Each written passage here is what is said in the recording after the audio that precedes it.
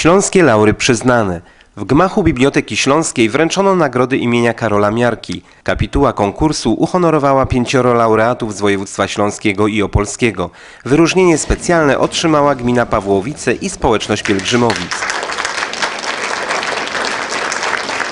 Od 1983 roku te nagrody są rozdawane początkowo w innym miejscu, ale e, cieszę się ogromnie, że mogę to robić teraz z marszałkiem województwa opolskiego. Mam nadzieję, że dzisiejsi laureaci zostaną zaakceptowani przez większość województwa. Oni odgrywają niezwykle ważną rolę w tym dziele i kontynuacji działania.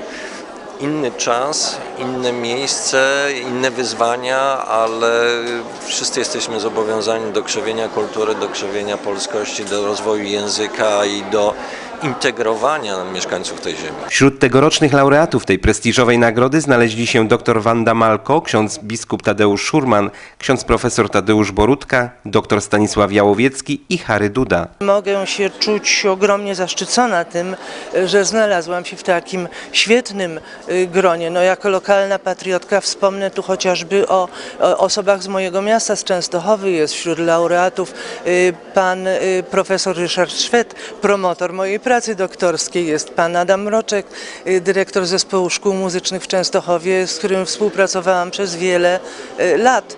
Także no, mogę odczuwać dumę i satysfakcję, że moje dokonania no, też zasłużyły na tą nagrodę. To bardzo wielkie wyróżnienie, za które bardzo dziękuję. Nagrodą specjalną uhonorowano gminę Pawłowice i społeczność pielgrzymowic za pielęgnowanie pamięci o działalności Karola Miarki. Nagrody wręczyli marszałkowie województwa śląskiego Bogusław Śmigielski i opolskiego Józef Sebesta.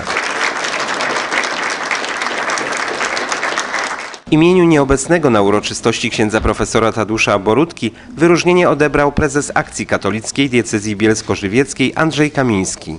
Nagroda imienia Karola Miarki to nie tylko wyróżnienie, to przede wszystkim wyraz uznania dla działalności osób zaangażowanych w upowszechnianie kultury i nauki w naszym regionie. To swego rodzaju ukłon w stronę jednostek lub zbiorowości, które w swojej działalności nawiązują do idei realizowanych przez Karola Miarkę. O wyborze laureatów decyduje wiele czynników. Ta działalność musi się wpisywać w ten cel, który jest e, zasadniczy, czyli, promowanie kultury, promowanie polskości, promowanie języka w różnych e, sfer i również działanie na rzecz tego środowiska. Także te, te wszystkie elementy są e, brane pod uwagę przez kapitułę. Dla samych wyróżnionych nagroda ma szczególne znaczenie. Zastanawiałem się, czy rzeczywiście jestem tego godny, Mm, ale tak jak powiedziałem, traktuję to jako zobowiązanie na przyszłość do jeszcze mm, silniejszego odbudowywania e, pewnych